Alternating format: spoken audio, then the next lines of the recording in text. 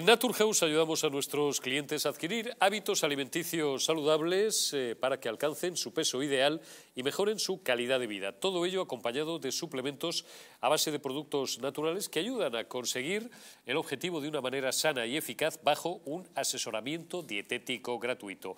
Dispondrán de un programa de cita regular y gratuito con un nutricionista que hará un seguimiento de su caso de forma permanente. Será su guía durante todo el proceso para que consigan su peso saludable y será también su apoyo emocional. Su nutricionista irá adaptando su plan de alimentación personalizado a medida que vayan avanzando en el tratamiento para asegurar que se mantiene su salud y que alcanzan los resultados deseados. Pidan cita en su centro más cercano o si no, pues cita online www.naturhaus.es. Bueno, pues continuamos, vamos a ir cerrando ya todo este bloque político. Fernando, ¿querías eh, añadir algo? sí, quería, quería simplemente, a, tenor de lo que ha dicho mi querido Hugo Pereira, es sobre todo el, que a mí realmente lo que me, me acojona, y yo creo que nos debería acojonar a todos los españoles o los que vivimos en nuestro territorio de momento soberano, es que ni existe realmente el Partido Socialista ni existe un partido de la oposición que esté enfrente. Acaban de echar, por cierto, que sean dos minutos, lo, vamos a comentar, acaban de echar a Joaquín Leguina. Sí, sí. mañana echarán a Felipe González. Pero, querido director, es que realmente lo que, lo que asombra, y fíjese que casualmente antes hablamos de, de, la otra época, con, con, Franco, ¿no? en la época franquista ¿no? en España, ¿no? Después terminó la, había nacido y éramos todos aquí pequeños. La guerra era joven y nosotros éramos pequeños. Yo, yo, le, vi de paso porque eh, nací, soy del 69 y el año 75 ¿De qué año ha dicho que es usted? Del año 69, el mejor siglo, el mejor del siglo. Pero independientemente de eso y no me desvío de la... Eh, lo que realmente asusta y sobre todo debería asustarnos a la gente que tiene eh, algún dedo y medio de frente es sobre todo que no existe ya el Partido Socialista como tal, como el que teníamos concebido. Mm. Partido Socialista Obrero Español. Ni es socialista, ni es obrero, y menos español ahora porque lo odian. Pero fíjese que es curioso que lo que defendía ante la anterior sociedad en la que usted y yo, señor querido director, eh, compartíamos, compartíamos aulas digo, y sistema educativo, que era el mismo que teníamos de la educación, afortunadamente general básica, eh, es que ni existe el Estado, van contra el Estado, lo que tenemos ahora mismo van contra el Estado, ellos mismos alucinen, ¿eh? por favor, analicen, van contra el Estado, van contra la familia, van contra el municipio y van contra los sindicatos. ¿Dónde están los sindicatos? Bueno, pero contra el Estado también, también va... No, no, no, no, no. Pero, pero usted, querido, querido, a ver, usted es periodista, yo no, yo soy abogado. Politólogo. Politólogo, bueno. Hugo es periodista a tiempo parcial, es periodista cuando le interesa y ahora va de politólogo, pues usted dice que hay niveles. Pero, pero, pero fíjese, fíjese que quieren destruir el Estado desde el Estado es que lo curioso de lo que tenemos encima, es decir, que, que a ver, alrededor del... Pero que... escucha, esto es como un cólico miserere, como el famoso cólico miserere. Y ya termino. Es decir, el de Mordor elige elige saberse rodear bien. Tiene su, tiene su ventaja, el ser más inteligente que los chimpancés que te rodean, que son todo. Los utiliza, luego lo desecha. Directamente como la mantis religiosa cuando copula con su el macho. Pero tenemos ahora la cuestión de que en las manos de este señor está la posibilidad, sin existir un partido que ha sido vinculante en la, historia de la, democracia española, como es el Partido Socialista, y el, y el opositor, que ha sido Alianza Popular. Hugo, te guardo turno de palabra. Es que tengo a Roberto Centeno conectado y, y, le he sacado de una cena a estas horas de la noche y tiene solo pocos minutos y se lo agradezco muchísimo. Roberto Centeno, muy buenas noches. ¿Cómo estás? Muy buenas noches. Bueno, pues no sé si nos estabas escuchando ahí, eh, que como dicen ahora los millennials, o sea, en el backstage, es decir, en, la, en, la, en la, trastienda. No sé si quieres apuntar algo a esto eh, y luego te voy a preguntar por los datos de, Eurostat de hoy. Mucho, todo el, el, tiempo que tengo lo voy a dedicar a, a, lo que me eh, a lo que me habéis dicho. A lo que te hemos pedido que es economía, Eurostat y crecimiento. Economía, que tengo que decir, tengo que decir que el titular eh, me ha dejado estupefacto, porque el titular pues es... es literal, macho, porque lo he confeccionado yo con, estas manitas y es literal. me parece muy bien. El titular es de puede que llueva poco, llueva mucho o no llueva nada y se quede el tiempo como estaba, que sí. Sí, no, el titular es, el titular es la economía de la zona euro frena su crecimiento, aunque menos de lo esperado. Y bueno, ahí es donde me he quedado eh, eh, estupefacto. estupefacto, porque es justo lo contrario, está creciendo más de lo esperado. Y, eh, perdón, está decreciendo y las expectativas van absolutamente a peor.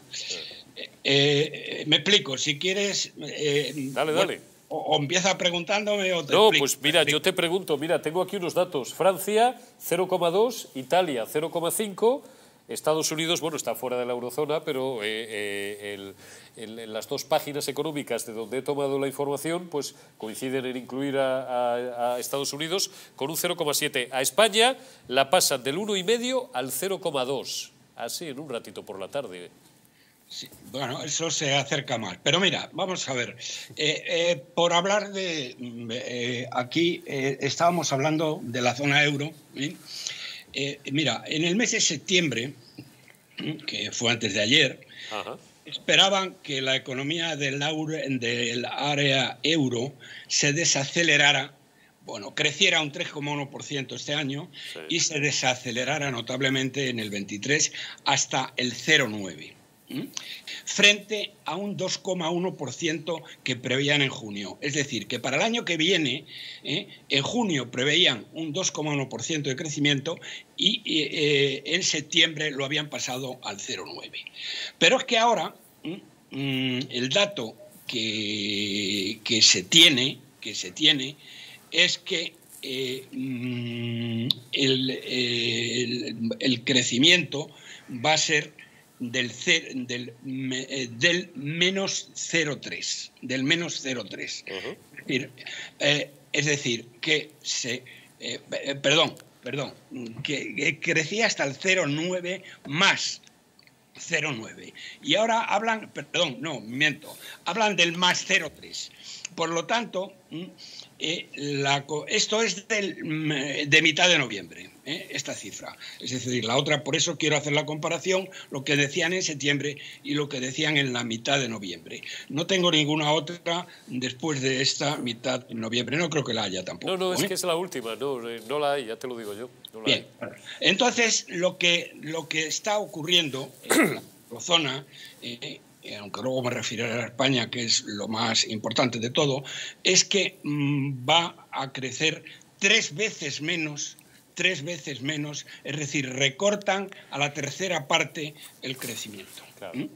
Eh, eh, se prevé que va a entrar en recesión técnica desde ya mismo, es decir, desde el último trimestre de este año que estamos ya prácticamente finiquitando, ¿eh? que creen que va a haber un decrecimiento, decrecimiento del menos 0,5 en el cuarto trimestre eh, del año 22 en el que estamos y en el primer trimestre del 23 el eh, menos 0,1. Pero si coges Alemania, que es, eh, bueno, ha sido la locomotora. ha sido la locomotora, fíjate que estos tíos pensaban que iban a crecer un 2,5% en el año 22 mm, y nosotros, eh, y perdona, y ahora la última cifra, estoy hablando mitad de noviembre, es del 1,6%. Y las fechas son importantes porque cambian a una velocidad de vértigo.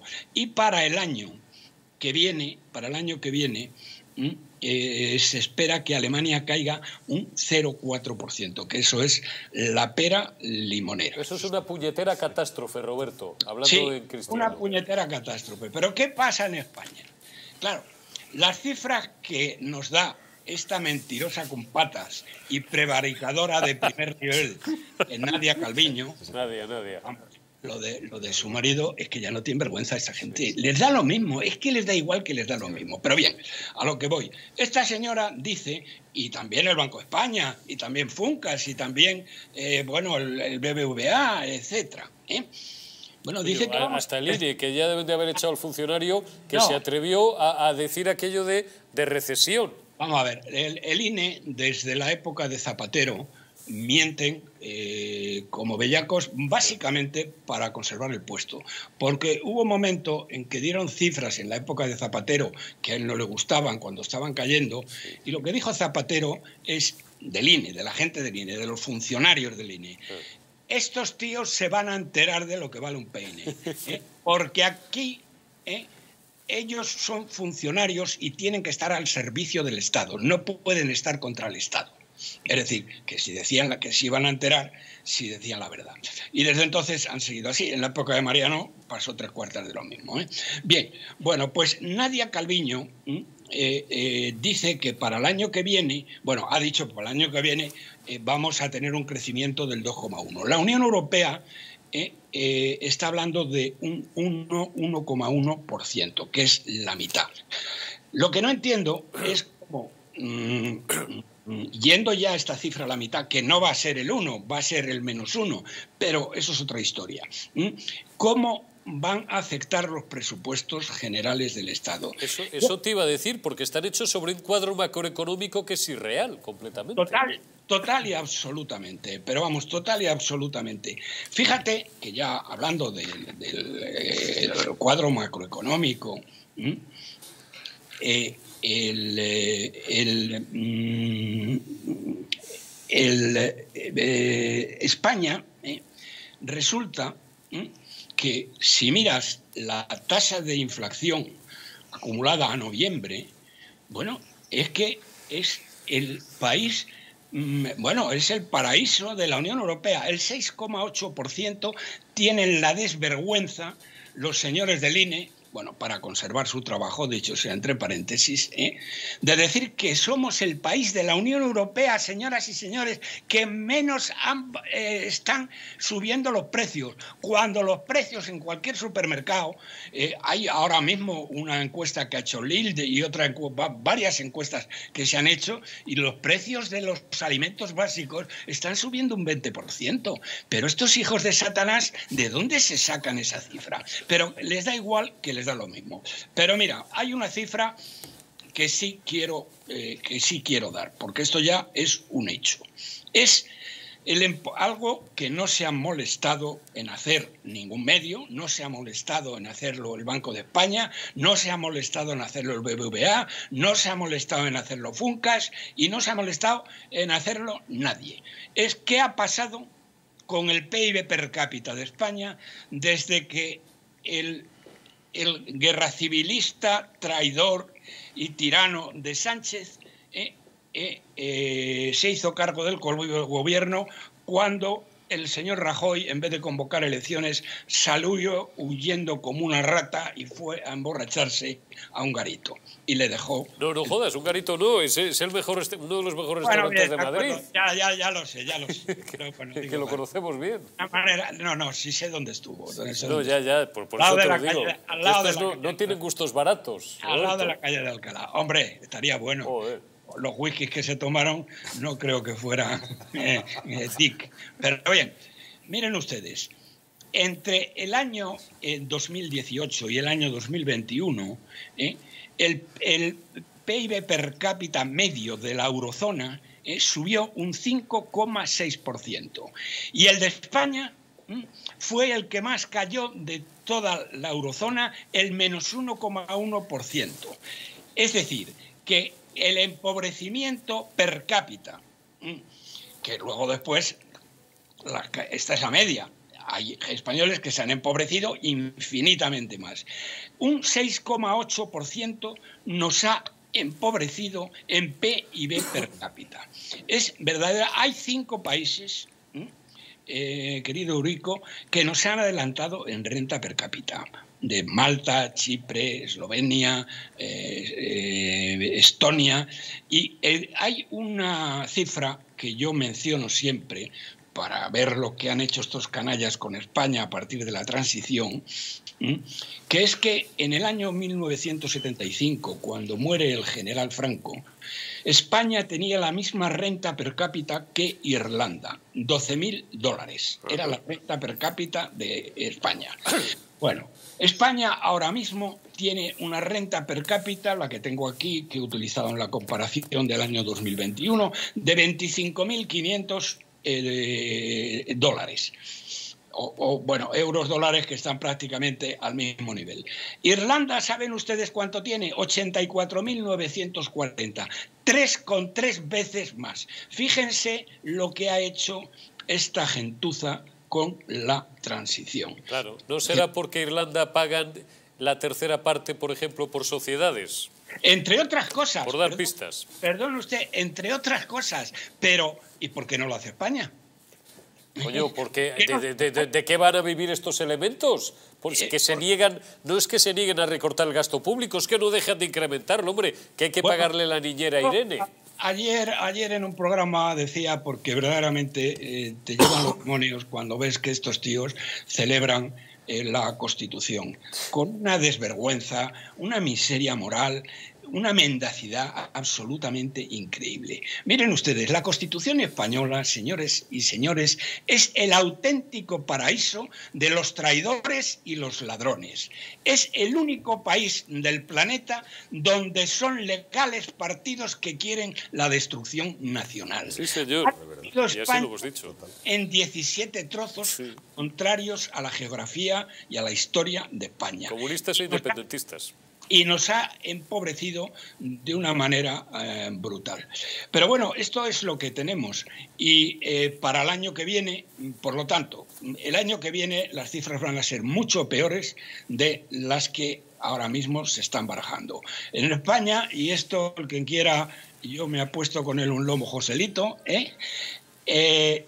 vamos a crecer al menos 1% no al 1% que dice la Unión Europea, y hombre, el Banco de España es que no tenéis vergüenza, cos. Coño, que tenéis el mejor servicio de estudios de España. ¿Cómo narices decir con ese servicio de estudios del copón que tenéis que vamos a crecer en 1,4%? COS, no tiene vergüenza. Pero bueno, hace lo mismo otra serie eh, eh, de gente. Y bueno, esto es lo que tenía que decir, que no vamos a tener eh, vamos a descender menos de lo previsto, sino más de lo previsto. De hecho, el AIREF eh, ya había, dicho, ahora no sé lo que dirá, eh, pero hace tres meses dijo que el tercer trimestre del año iba a ser negativo, que luego no lo ha sido, ha crecido, no sé si el 0,1 o el 0,2, según el INE, y que iba a ser negativo en este eh, tercer trimestre en un 0,4%. Eso el AIREF. ¿eh? Es decir, estamos, España está ya en, recesión. Como el otro día había una encuesta de Lille, de, esta, de este supermercado alemán. ¿eh? Lidl, sí. o Lidl. Lidl. Sí. sí, bien. en el que decía que las compras de Navidad estimaban ellos que de las compras esenciales de Navidad, lo que es habitual en la Navidad, iba a descender en un 34-35%. Pues, pues, pues, perdón, y ya, si me, si me dejas respirar dos segundos, te digo dos cosas más que había. Te dejo hasta tres. Hasta tres. Cuatro. Había otra, otro análisis del tema y es el empobrecimiento que ha supuesto la inflación, esta falsa inflación que nos cuenta el INE, que había empobrecido el dinero que tienen los españoles en un 12%. Es decir, eh, la mayor parte de la gente, desgraciadamente no toda, hay gente que no tiene ni un euro en el banco, pero aquellas personas que tienen dinero en el banco, ese dinero vale hoy un 12% menos de lo que valía cuando llegó este sátrapa guerra civilista y traidor y gran traidor a España. Un 12% menos. Y también es una cantidad que aquellos que eh, bueno que tengan un salario y que eh, pues eso menos lo que les hayan subido el salario es lo que han perdido. Pero básicamente han perdido el 12% de su riqueza. Que ya les digo saquen ustedes el dinero del banco por lo menos para vivir un año porque España va a suspender pagos y nos va a pasar exactamente lo mismo que a Grecia, que nos vamos a un corralito. ¿Y qué significa un corralito? Significa que aunque usted tenga 5.000 euros en el banco, usted no puede sacar más de 40 euros a la semana. Así estuvieron viviendo los griegos varios años. Y el otro tema al que hacía referencia es cómo se están incrementando exponencialmente los préstamos para el consumo.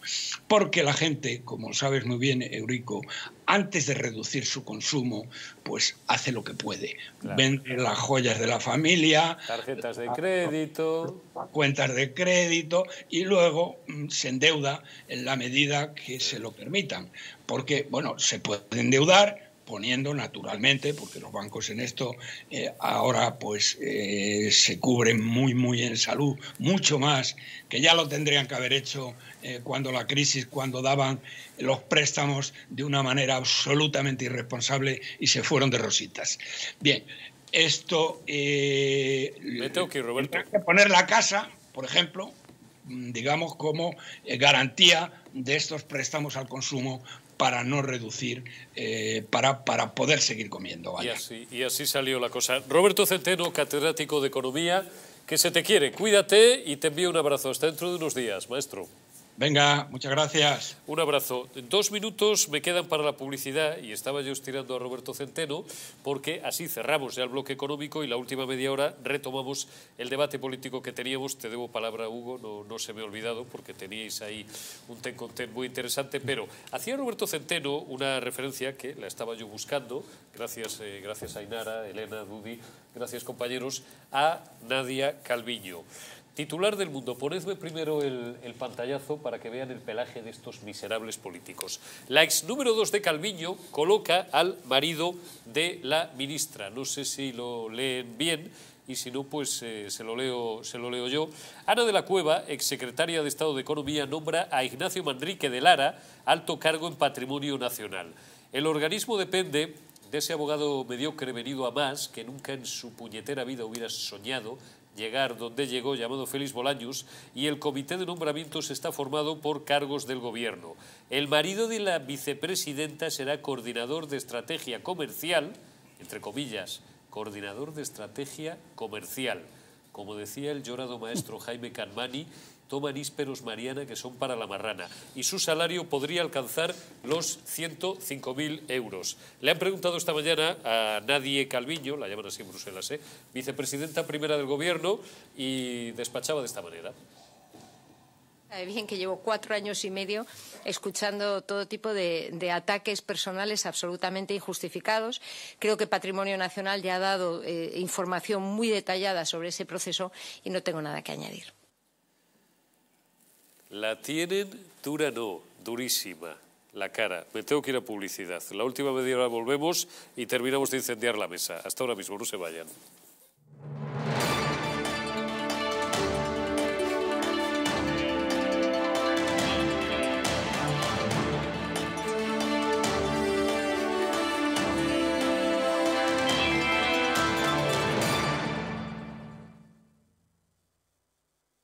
Naturhaus es el mejor método para perder peso de forma saludable y sin pasar hambre.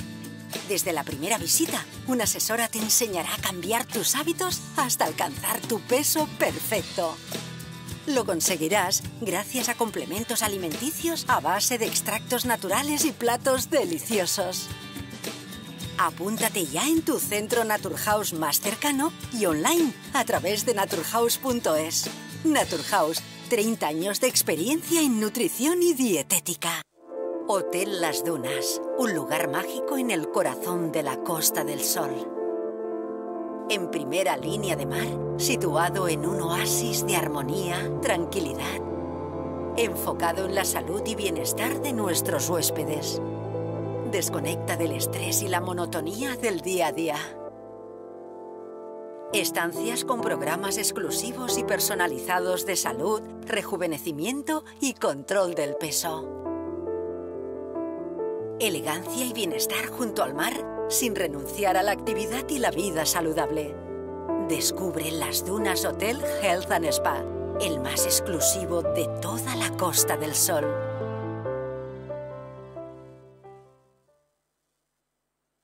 Estás a solo unas horas de que para farmaciamundonatural.es te haga llegar tu pedido con regalo incluido. Más de 25.000 productos de las principales marcas. Te esperamos.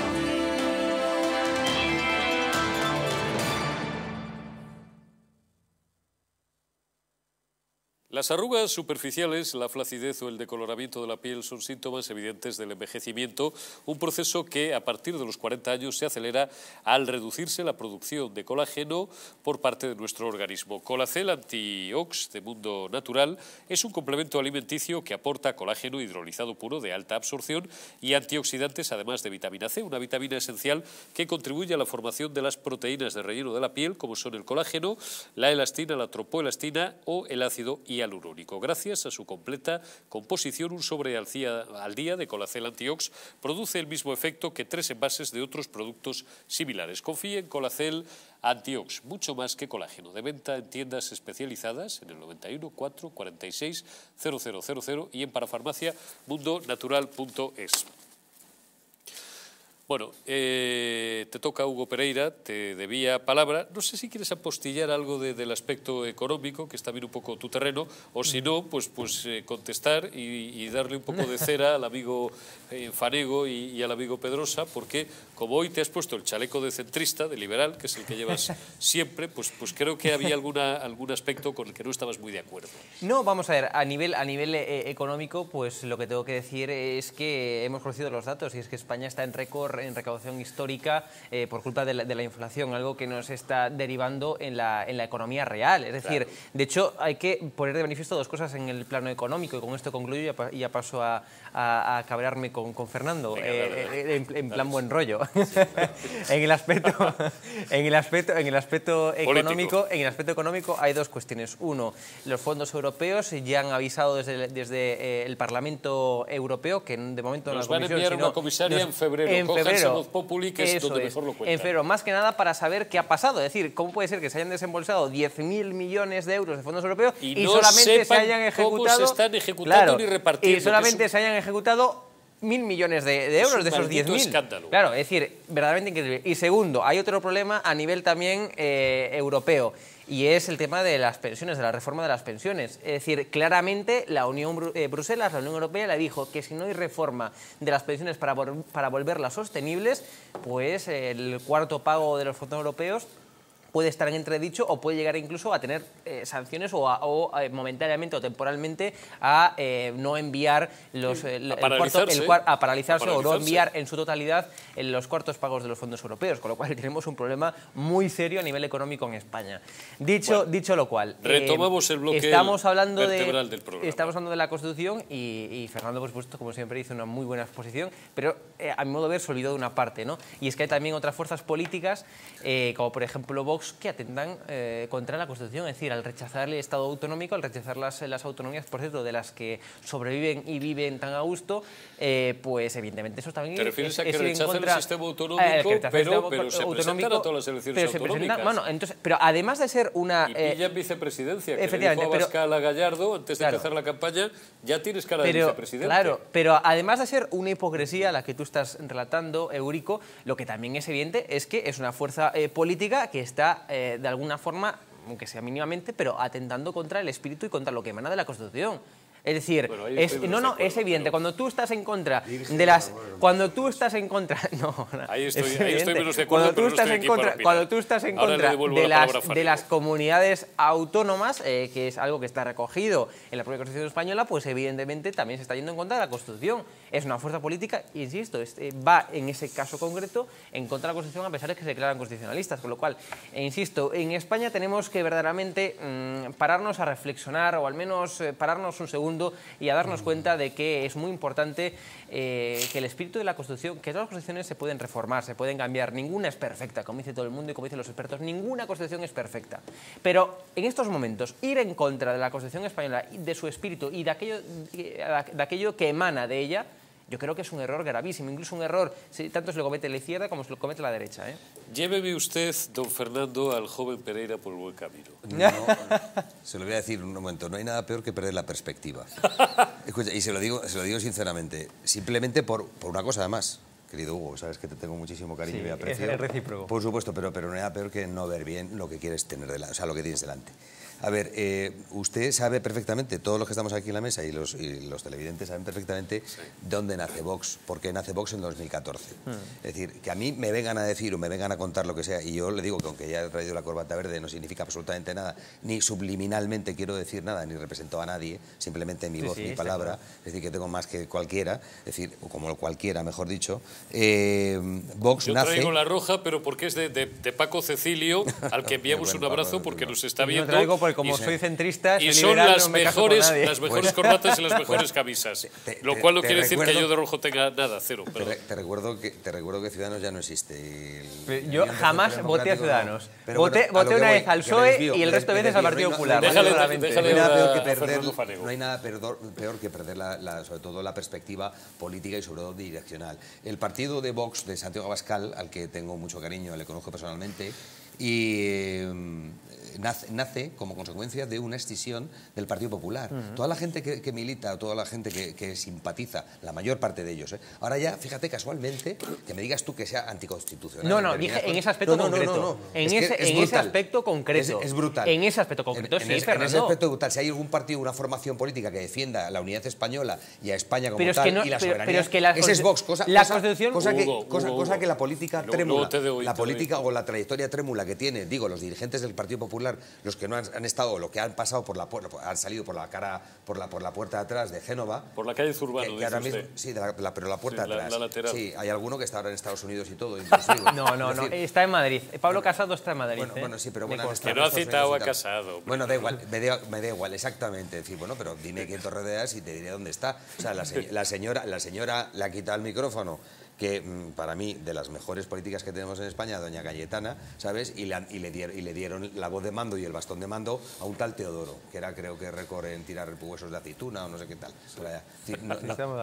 bueno, pero escucha, es que es lamentable. Y ese es el motivo de por qué estamos en la, en la, en la, en la, actualidad política en España. afortunadamente, o sea, y es lo que yo siempre me canso y además me, me, me, me desgañito en, en, decirlo, es decir, el que, o sea, Vox no tenía que haber presentado la moción de censura a este, a este al, al al felón que tenemos ahora mismo. Era el Partido Popular. No, no, no, no, no, desde luego que no, Fernando. No, no, desde luego que no. no desde, luego que no. ¿Para, para, para, para, para, qué, ¿para qué presentar una moción de censura que está abocada al fracaso? Es decir, bienvenido, señor para, Rajoy. Oye, para bienvenido, señor Rajoy. Mucho para, mejor para perder el tiempo yo no, escucha, no, lo veo, ¿eh? Querido, querido, no, escucha, escucha, es mucho mejor ver al, al, al, al, enemigo pasar muerto y dejar que se, que se desgañe y tal. Pero usted, eso es la... Pero eso es la política que tenía Rajoy. Una moción de censura no sirve de nada más que para reforzar a Pedro Sánchez porque la ganaría Pedro Sánchez, no la ganaría Feijóo ni Abascal. Pero, escucha, pero es que hay una cosa que es clara, hay una cosa que es clara, y ya termino. ¿eh? Sí, sí, por eso. Eh, escucha, yo y hay una cosa que es clara, es decir, eh, o sea, el camino cómo se hace, querido Hugo, andando, caminando. Bien es verdad que a lo mejor no era la, no, se sabía perfectamente que no iba, no iba a salir adelante esa moción de censura,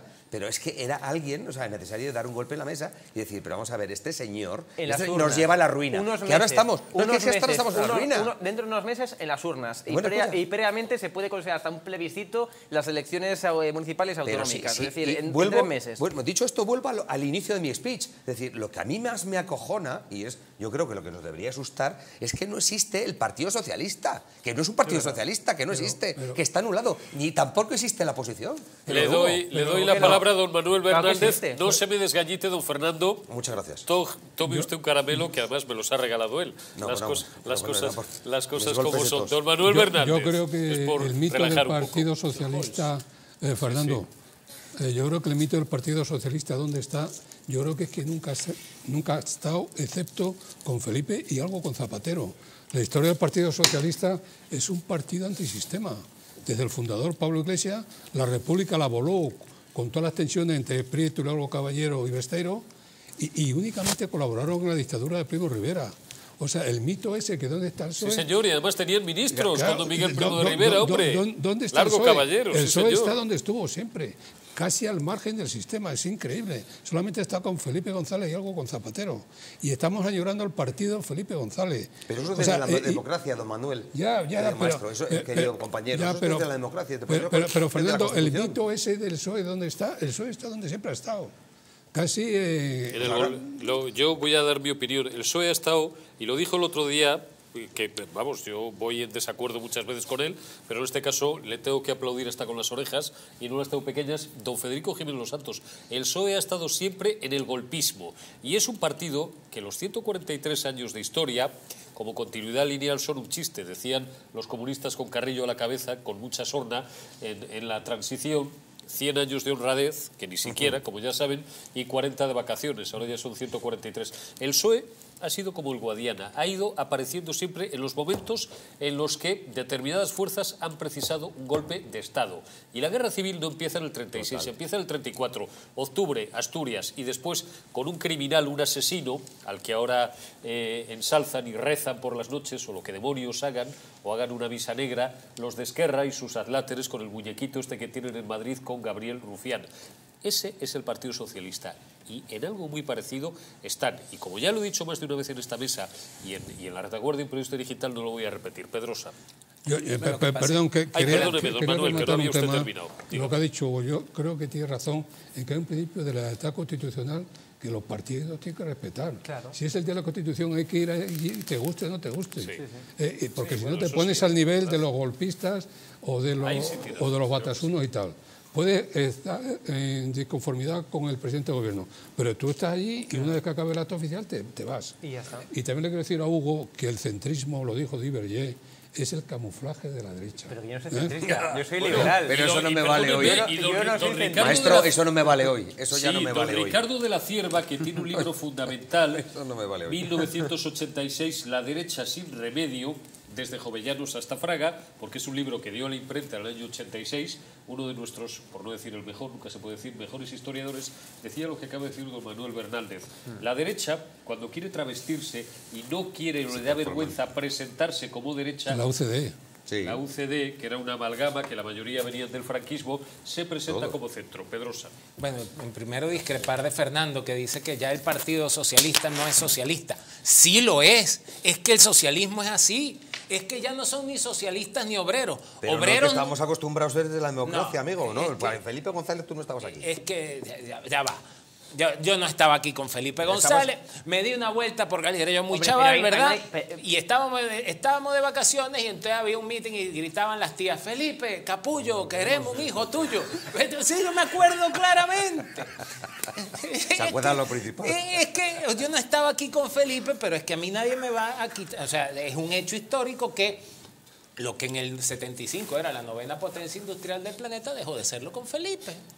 Entonces, es que el socialismo es así.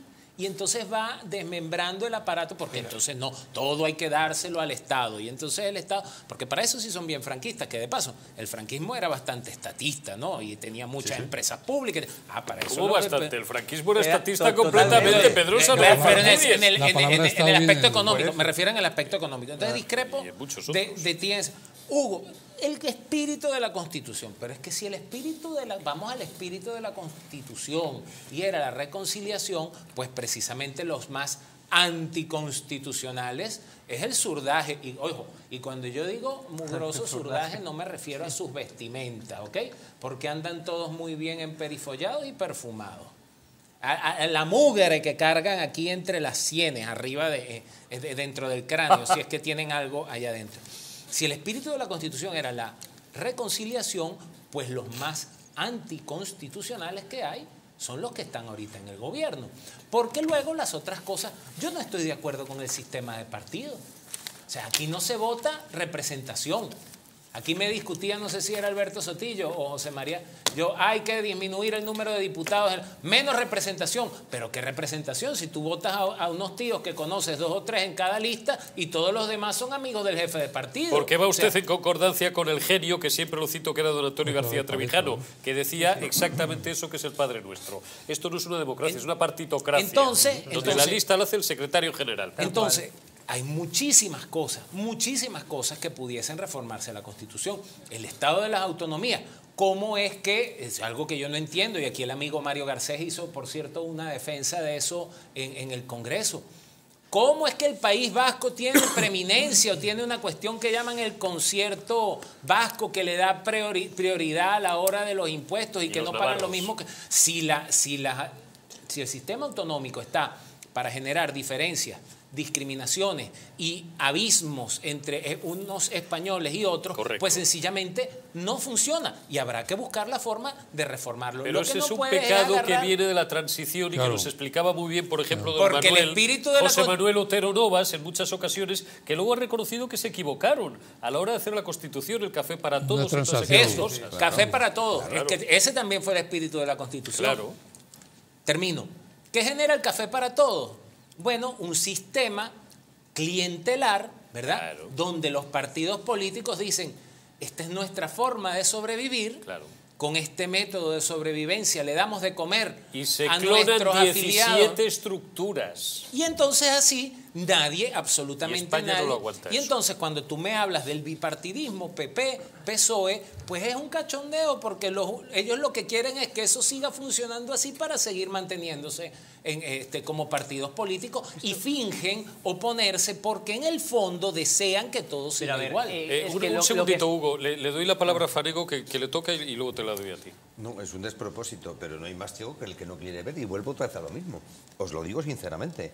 A ver, eh, estamos en una situación que creo que es límite, digo, tanto social y, sobre todo principal económica. Es decir, tenemos encima un yugo que se llama Europa, que supone que nos ha prestado un dinero que ahora no sabemos dónde ha ido. A ver, tenemos un Estado que es un pedazo mastodonte que gasta, pero como cualquier gobierno comunista, tiene todo ministeriado. O sea, tiene todo, o sea, si son todo oficinas, porque necesita un, órgano, un órgano de administración mm. comunista. porque necesita, cada vez más millones de personas que vivan de ello. Claro, pero, ese es el subsidio, el famoso subsidio, que tiene razonamiento, que le hace al individuo necesitar del Estado para poder sobrevivir. Es que está todo inventado, querido Hugo. El problema está en que está todo inventado.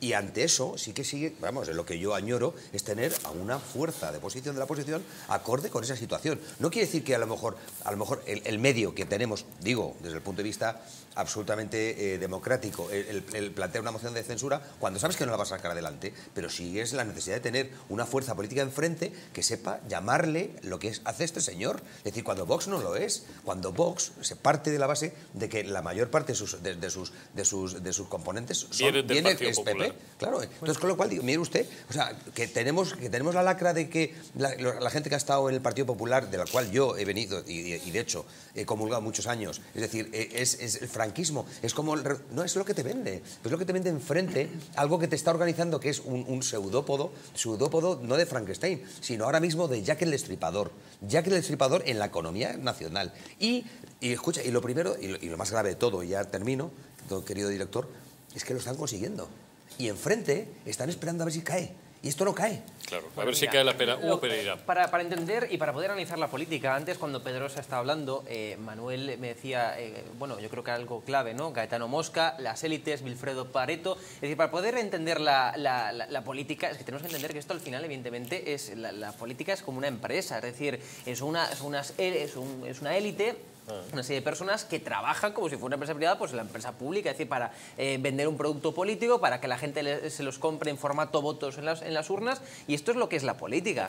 ni te dejo que cites a todo lado Miguel Anso Bastos. No, bueno, Miguel Anso Bastos precisamente es más de economía. Esto, es más pero aparte de eso, pero, pero esos terrenos. Pero, pero, sí, pero, pero, aparte de eso necesitamos gestores. Pero que me es que no son las políticas, que me parece muy bien como dejamos ya de, de, la idea de que, mm, hay un, de que va a venir un Mesías, un salvador de España. No, mira, lo que tenemos es una serie de, de políticos, una serie de fuerzas políticas, una serie de personas con diferentes ideologías, principios y valores, etcétera, pero que al final todos están por y para conseguir el poder.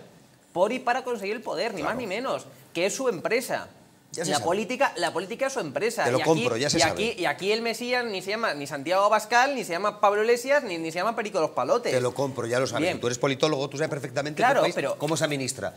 tienes que tener gestores, tienes que tener gestores. y aquí, y aquí no, te vende un gestor, porque no tiene políticamente bueno, pero nada tenemos, que tenemos que partir, Pero tenemos que partir de esa base para poder analizar y entender la, política. Dicho lo cual, evidentemente, estamos en una situación límite eh, en España. Lo decía la propia Isabel Díaz Ayuso. Es decir, si vuelve a ganar en los próximos comicios... Vamos a una dictadura, dijo Díaz Ayuso. Bueno, no, dijo le ha caído la del pulpo. No lo dijo con esas palabras eh, textualmente, pero dijo Era que la idea, estamos caminando hacia... Que, iríamos hacia un nuevo orden mm, legal, hacia un nuevo orden constitucional si vuelve a ganar eh, Pedro Sánchez en las próximas elecciones. ¿Te parece poco? Tercera República con el primer presidente ah, Pedro Sánchez estoy, estoy, completamente de acuerdo con lo que dijo Ayuso. Estoy, estoy, completamente, pues, faltaría más, estoy completamente de acuerdo con lo que dice Isabel Díaz Ayuso. Es decir, el peligro, el peligro real que tenemos ahora mismo en España es que vuelva a ganar Pedro Sánchez. Y ojo, esto no está completamente descartado. No, no, claro que no está. no, Ese es el peligro. Esto no está completamente descartado. Es- Es, es- decir, las encuestas, las empresas demoscópicas privadas, porque la decís ya, bueno, eso ya ni encuesta es, pero las empresas demoscópicas privadas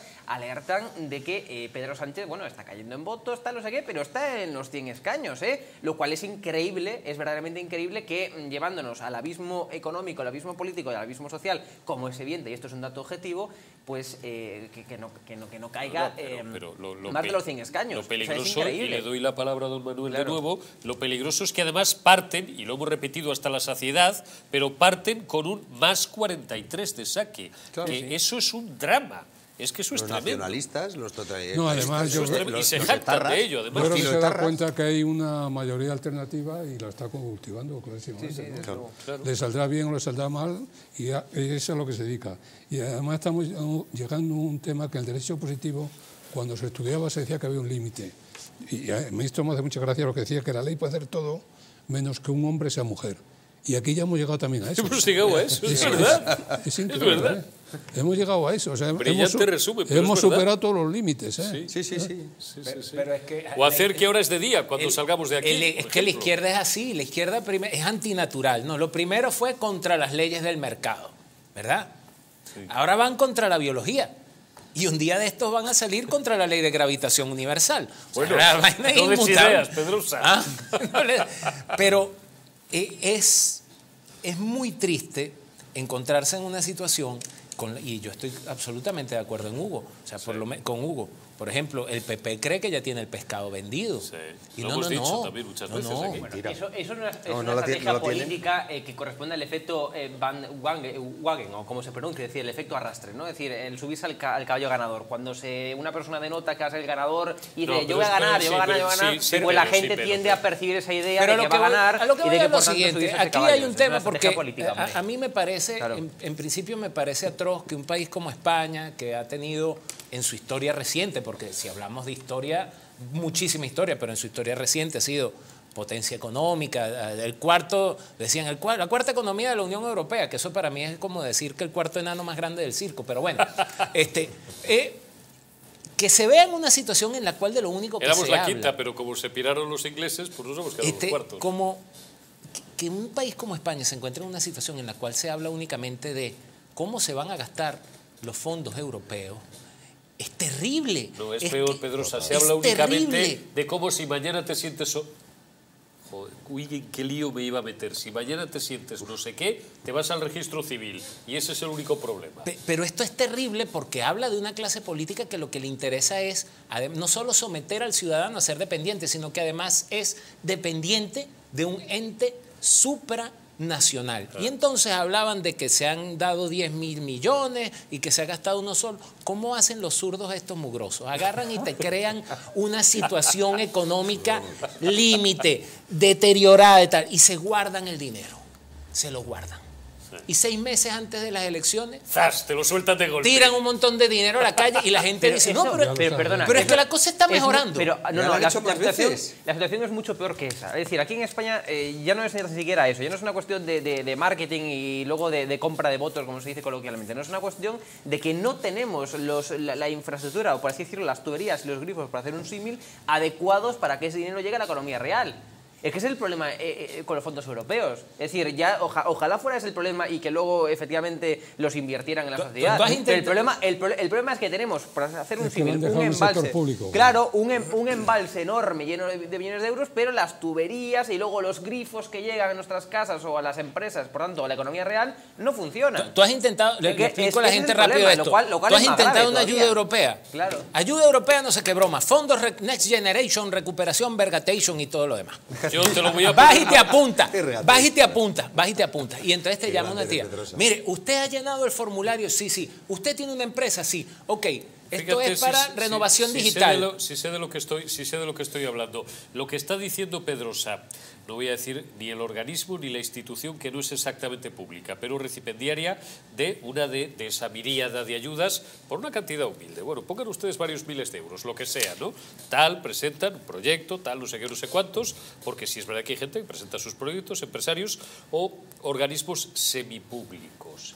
Y entonces se le concede una partida. Voy a improvisar. Vamos a poner que son 5.000, 10.000 euros. Pongan ustedes la cantidad que quieran. Vale, tal. Para un proyecto de iba un poco por, por el ámbito al que, al que te has referido. Digitalización. Bueno, pues bien, tal, tal, tal. Falta no sé qué diablos de un sello de no sé qué, de la abuela que fuma, y falta un tal se devuelve a tomar por saco la ayuda. Y porque además es todo tan complejo, tan abstruso, tan tal, ¿saben al final la conclusión? Pues que como eso ya estaba presupuesto, ya estaba, digamos, eh, asignado. Asignado, efectivamente, tuvo que ir contra los presupuestos de quien lo había pedido porque faltaba, voy a hablar en, idioma de don Mariano José de Larra, porque faltaba una póliza, más o menos venía Pero hay otra cosa. Una puñetera es que ya, están, es que ya están entregados, porque, porque ese formulario que tú llenaste la compañía te dice, bueno, si es para digitalización de su empresa, tuvieron que pagar ellos. si es para digitalización de su empresa, nosotros se lo gestionamos, pero ese dinero nunca llega a ti, ese dinero lo cobran ellos. Y ahí entran ah, compañías. Ya, ya, esa es otra eh, Eso lo cobran ellos. Y ahí entran compañías como la del esposo de Calviño, B-Digital. que son los que gestionan y se lo cobran. La empresa en la que trabaja el marido de Nadia Calviño. Es don Manuel, don Manuel eh, Eurico, el dato que has dado, Italia crece al doble que nosotros. Has hablado del 0,5, me parece, ¿no? Sí, lo tengo por aquí. Eh, 0,5 y nosotros 0. Y mira, Francia 0,2, Italia 0,5, Estados Unidos 0,7. No, pero es curioso que Italia, que es eh, también eh, destino de los fondos europeos como nosotros, está creciendo al doble que nosotros. Pero porque Italia tiene un tejido productivo que ya quisiéramos tener nosotros, un tejido industrial. y eso indica que allí la distribución está siendo mucho más ágil. O sea, que, no se ha convertido en una especie de coto cerrado del sector público. Correcto. Eso es. Porque en Italia, y conocemos muy bien, y lo voy a contar la película que cuento aquí siempre, todas las semanas pares y las impares, porque en Italia tienen perfectamente disociado el ámbito político de la vida económica.